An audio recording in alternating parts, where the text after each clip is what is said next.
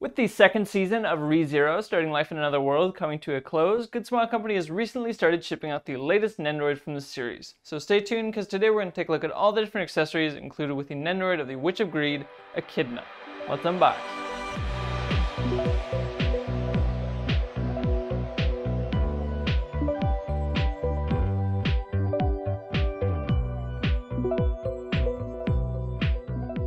Nendoroid Echidna comes in a standard Nendoroid box that is primarily black and white in color, just like her outfit.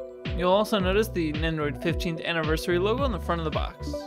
Opening up the box, we have the blister packaging and a manual. Be sure to take a look at that.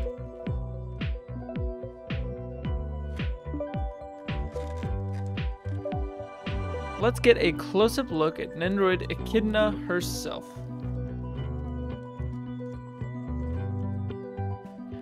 Echidna's form-fitting dress has been faithfully recreated in Nendoroid form with the fine white stripe patterns being captured in detail.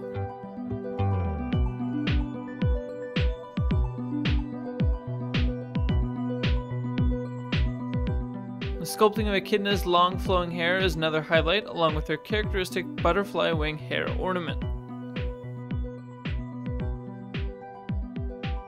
Echidna comes with two additional faceplates, making for three faceplates in total. These faceplates can be swapped in by removing the front hair part of the figure and popping out the faceplate.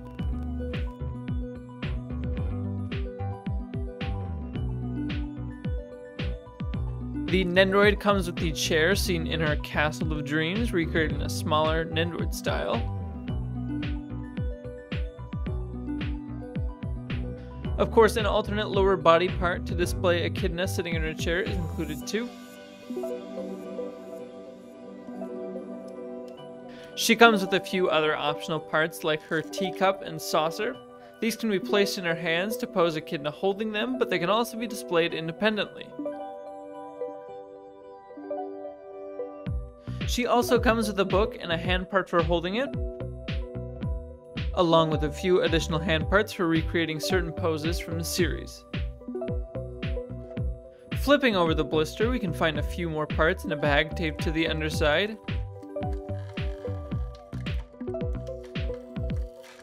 The Nendoroid's base, support arm, and a spare neck joint. Let's use all these parts to make a couple poses now. First I'm going to pose her sitting in her chair with her cup of if you want to call it that. The first thing I'll do is switch out our lower body part for the alternate sitting part.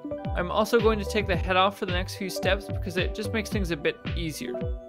After that, rather than attaching the chair to the body directly, I'm going to take the peg out of the chair and attach it to Echidna's back.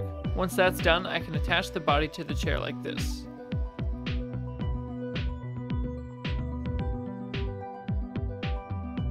After that, I need to switch out her forearm parts with the alternate parts holding her teacup and saucer.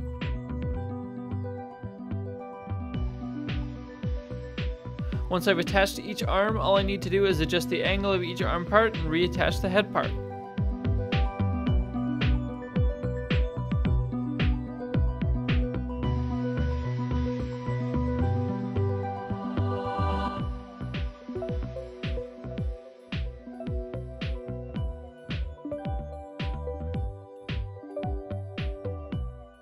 By the way, these bent arm parts aren't just for a teacup and saucer. You can place other hand parts on these to create poses like this.